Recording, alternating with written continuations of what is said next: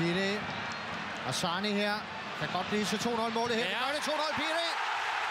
På et tidspunkt, hvor uh, man egentlig havde tankerne fremme af banen. er fatal fejl for, for Flinser, som slet ikke kommer ind til, til Pierre igen, og, og en let tab ind. Men også godt overblik fra Hassani.